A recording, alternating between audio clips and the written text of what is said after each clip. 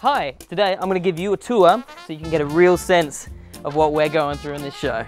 Come with me. So this is the heart of the Houlihan household with our head writer, Tommy Murphy. Who would you say is your favourite character? Uncle Wayne. of course you care. Of course, has to be. Of course, kid. Whose isn't it? In the heart of the Houlihan household, we have Den up here, my uncle. He is uh, engaged to Wayne. We've got Hannah, my sister, way too mature for her own good. She's like 15. Uh, we've got Ciaran, that's me, you know, smoke weed. We've got Ursula. Uh, she's mean.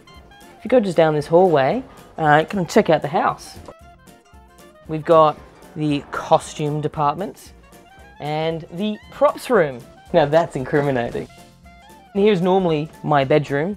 When this place is dressed, you'll probably see it in the show. It looks very different from this. Let's go upstairs. Let's have a look.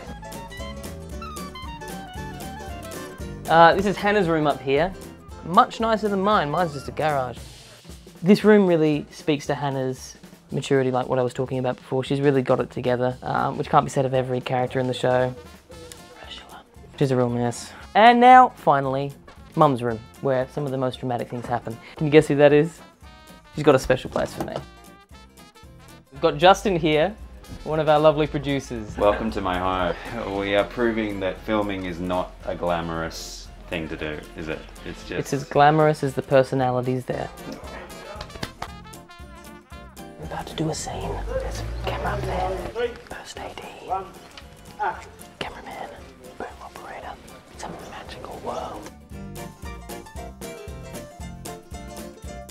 So, the unique part about this shoot has been that the vast majority of it has been on location. And the really magical part about it is uh, the surrounding area, Malabar itself. Every single aspect of this area has become a character in the show. So welcome. And uh, yeah, hope to see you on the other side of the screen.